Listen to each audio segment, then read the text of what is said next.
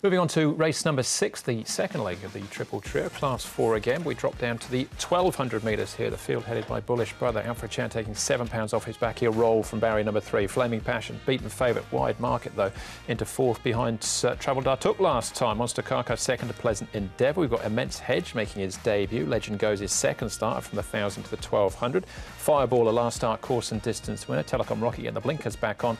And down to Champion Pride. Close to a class drop here off a mark of 41. He'll jump from barrier number four with Vagner Borges in the saddle for David Ferraris. The stables had a little bit of form of late. Bullish Brother, Monster Kaka, and taking you further mark of the horses that have been on the road. And our speed map has a good to slow tempo with taking you further going uh, to the front from barrier number 12. Gets a claim for Victor Wong, but will cut over in front of Bullish Brother, who does have early speed also. Fireball, the last start, winner Telecom Puma and Immense Hedge who's on debut wide around Champion Pride. Legend goes, Magic Bonus and Telecom Rocket comes back to Happy Valley and Monster Kaka will drift back from Barrier 11 Ball. Only three starts for Flaming Passion. Uh, he was beaten favourite last time, albeit very loose favourite. But look, he's travelling nicely. I think he's come on once again from that run. Cheek pieces will be on him for the first time. We can see him working in them and he works nicely in it. Here's the first starter in Hong Kong, Immense Hedge, or first starter. He's by Snitzel, the source. He's had 11 trials to get him ready. He's 1,044 pounds and uh, John Size and Derek Leung will team up. And uh, just a nice, quiet piece of work for him. And Fireball, very impressive last time, I thought. Uh, Joao Moreira aboard, even pieces of work for him. He's been coming out of some strong form races and he's been very consistent. So he goes nicely and uh, stretches out well here.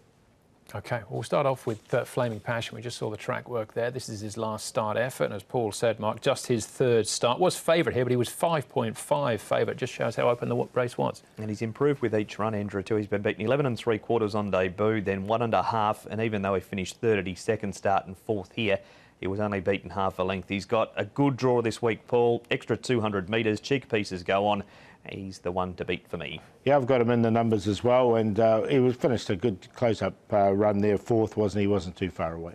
Okay, what about Monster Kaka then, Paul? Him running second last time out behind Pleasant Endeavour, only beaten a short head. Yeah, and it, I think it's good, pretty good form as well because Pleasant Endeavour, I think, is a really nice horse. He's won two from three.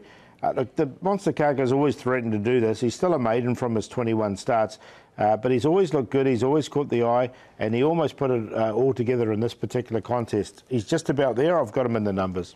You got him in, in for third, Monster Kaka. I've seen him on the speed map going back, but with Paul around the form, Pleasant Endeavour looks a smart horse, and it's taken him almost every inch of the Sha Tin straight to get past Monster Kaka there. Okay, well, Fireball brings winning form to the table, Mark. This was course and distance last time out. Uh, as a result, though, he's got an extra eight pounds on his back. He does. Uh, Noble Desire yet to win. He's still a maiden, but uh, Paul mentioned that he's been in strong form races, including behind Fantastic Way, Sight Success. He's up eight pounds, Paul, in the weight, which is the reason why I just favoured Flaming Passion. Now he's had the three runs uh, to date. I'm going to stick with him. I just think he's he's just kept off that uh, really good form against those really good horses, really progressive horses. We'll see on the weekend.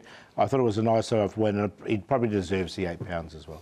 Okay, all right. Final race we'll have a look at then, Paul, is Telecom Rockets. Uh, the cheek pieces he was wearing this day are replaced by the blinkers, which he'd worn for his previous three starts. Yeah, so he's another horse who's quite consistent. As you mentioned, those blinkers go on him. Uh, he's coming back here to Happy Valley. Now, he's had two runs at uh, where he did finish sort of midfield as well. I think he, Happy Valley is probably a better thing for him. I've got him on a minor line, and Spontaneous is winning them in a row at the moment. Found a spot for him also. He's had five starts at Happy Valley and never worse than fourth, so he's a must for first four punters.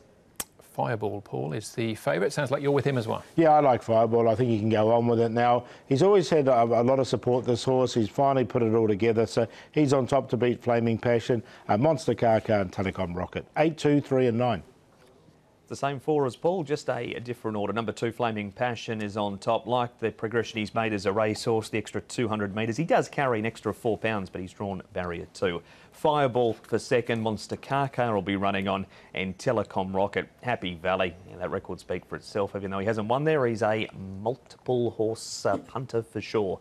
Two, eight, three, and nine. Two and eight, uh, my cue there in race number six, Flaming Passion and Fireball, the one, two for me. That'll move us on to the seventh, another class four, back to the thousand metres though for the next.